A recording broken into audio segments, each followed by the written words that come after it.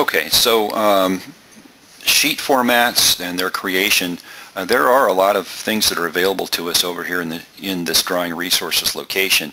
In addition to the sheet formats, um, we can create uh, and modify title blocks, borders, and sketch symbols. I'm going to focus in on some of the sketch symbol stuff uh, at this moment in time.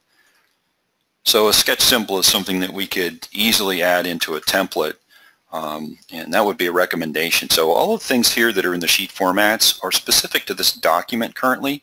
The fact that I created a new sheet format and I'm about to create a new sketch symbol, those by default reside in this document.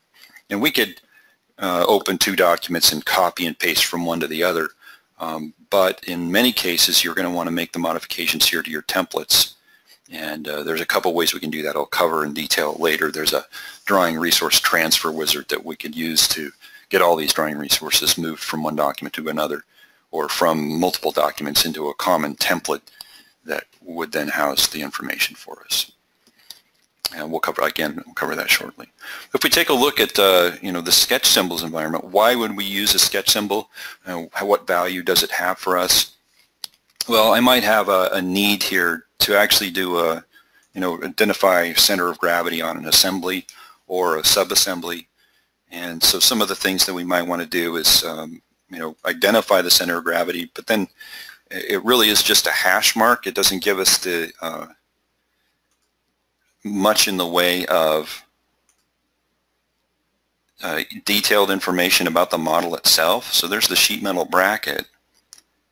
And what you saw me do there was just simply navigate to the to the drawing. When we have multiple draw, drawing views and they're stacked on top of each other and they're all the dependencies, they tend to nest themselves down in pretty well. So, you know, if, if rather than expand and expand and expand and navigate to the view, I wanted to put a center of gravity uh, identification in one of these views, I'm just simply going to right click on the view and then use find in browser. And that'll just expand the tree and identify the view for me.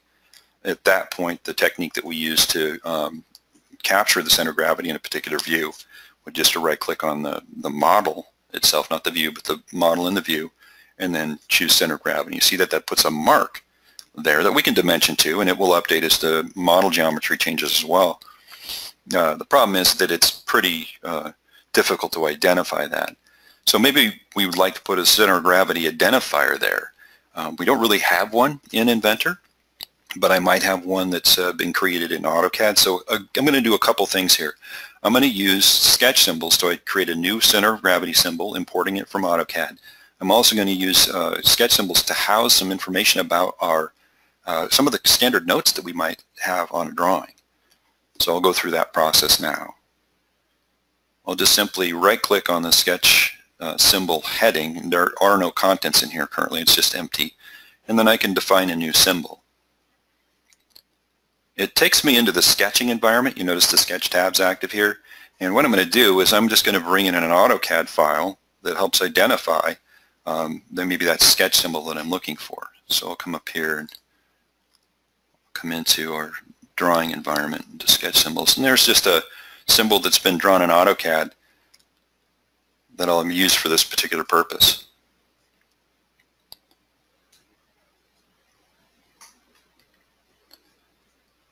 So you'll see that it brings up a little wizard that it's going to allow us to identify which information and the, the layers, et cetera, that are going to be captured here. So I have the, just a view for in the inventor environment here for creating this, uh, this particular um, sketch symbol.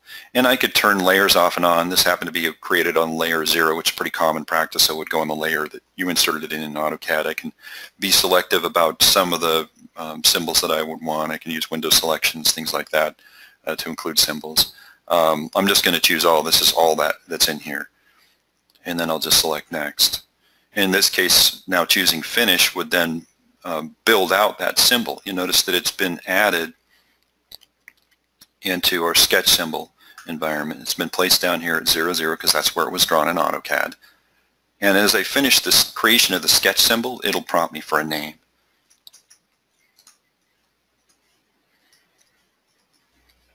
Try to use something that makes sense uh, just simply so it's easily identifiable to someone that might be consuming it. So here I am back in my in Inventor drawing environment having authored a sketch symbol now for the CG and I can just simply uh, place that in. The preferred method to do that, is an annotation object, so I'd go to the Annotate tab here and then insert a sketch symbol. You'll notice that it shows up as a sketch symbol there. You'll notice I get a preview of it. I get the ability to create leaders and uh, uh, have static, have symbol clipping, and uh, have it be static so it can't be resized. In this case, I'll just choose OK, and then I'll drop it down. You notice if I do additional clicks, it will create a leader object for me. So there's the center of gravity symbol for me. Maybe it's a little bit big for this particular um, model, so I'm going to just shrink it down a little bit. And I could do that in a precise way. I could just simply double click and I can, you know, say 0.5 scale on it if need be. I can do rotation if need be as well. So that's one way that I can create a sketch symbol uh, and why I might want to create a sketch symbol. Most of the annotation types are available here in Inventor, so you don't really need to do too much. I actually use sketch symbols uh, in a much more ex extensive way to capture uh, drawing notes and annotations as well. So we're going to throw some notes down here in the lower left-hand corner. That could be, you know, a laborious task if you don't use sketch symbols. Uh, you might try to include notes in your on the sheet itself, and then maybe you put a whole bunch of notes on there that's more than you want, and uh, you delete the ones that aren't the notes you want to keep. Um, but in this case, if we had a, a, grouping of many different kinds of notes that are available to us and we could place them as a sketch symbol, then we could just pick what we wanted and put it in, and that's kind of the workflow I'm going to use here. So again, I'll go ahead and I'll, I'll just uh, edit and create a new sketch symbol, so defining a new symbol here. And then um, I'm going to launch uh, got a Word document here that I'll be using for this purpose. And I'll just use uh, Weld Notes engraving. Um, pretty much anything you want to use, uh, I'll just use engraving notes in this case. And I'll just copy this. We're just going to copy and paste the contents here uh, from this Word document into the sketch symbol that I'm about to create. So here I am creating a new symbol in the sketch environment. I'll go ahead and start the text tool and I'll just draw a rectangle and then paste the information in. Uh, notice the formatting gets preserved there. I'll select OK. And then there's the there's the sketch symbol that I've just created. I might want to do some resizing here. Um, I, I can have it set up to word wrap if need be. Essentially just finish the sketch symbol and I'll just call it engraved notes.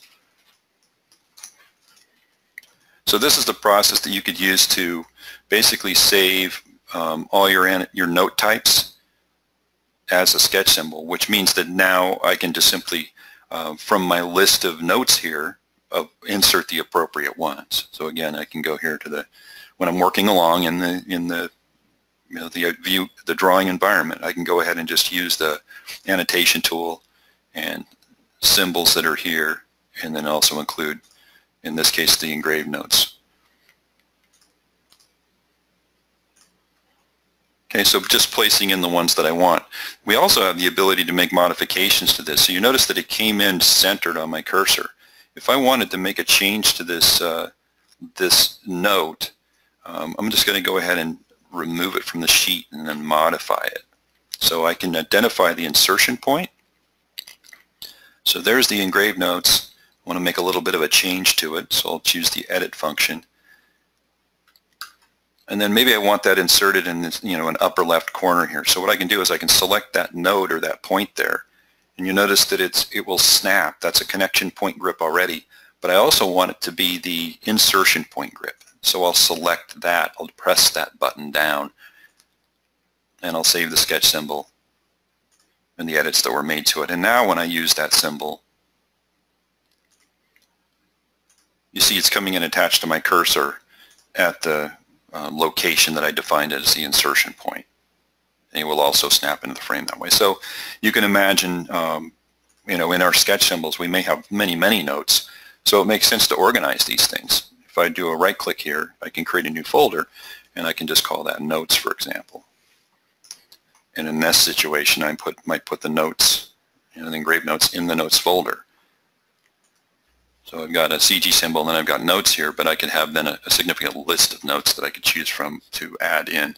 So it was engraved and plated and uh, sheet metal manufacturing process notes could all three be uh, tied together and then using the insertion point they could snap together. Okay, so just some things that you might want to accomplish um, using that. In addition to that, uh, we have the ability to centralize these resources as well.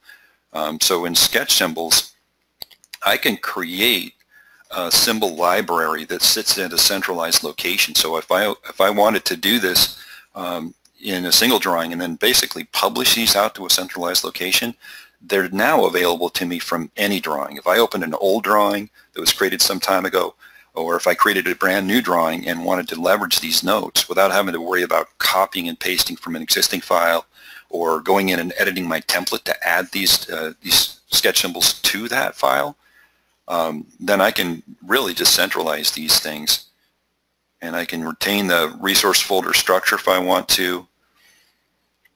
I can create additional libraries if I want to. In this case, this is going to be a centralized location, so I just choose Save.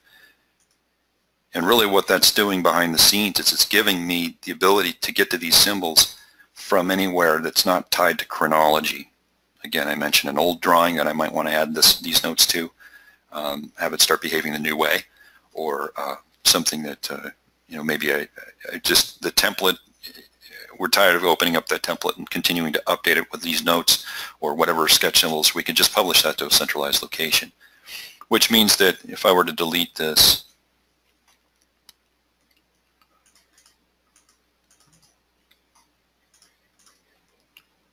and then even delete the notes here, the sketch symbol itself, I could still then come in and insert symbol. You'll notice what this is doing. There's the localized ones. There's the local, uh, the folder called notes, and there's the CG symbol that I added that's in this document. But now we've got a library that's centrally located, and I can actually take a look at what's available here. There's that CG, and there's the notes. So here's ones that are centralized. These are localized. So I can create localized notes if I want, or I can reach out and use the centralized version of these notes. Okay, so in this case, I could just insert the sketch symbol this in this way. So breaking with chronology and just really keeping us from having to go back into templates and modify them constantly.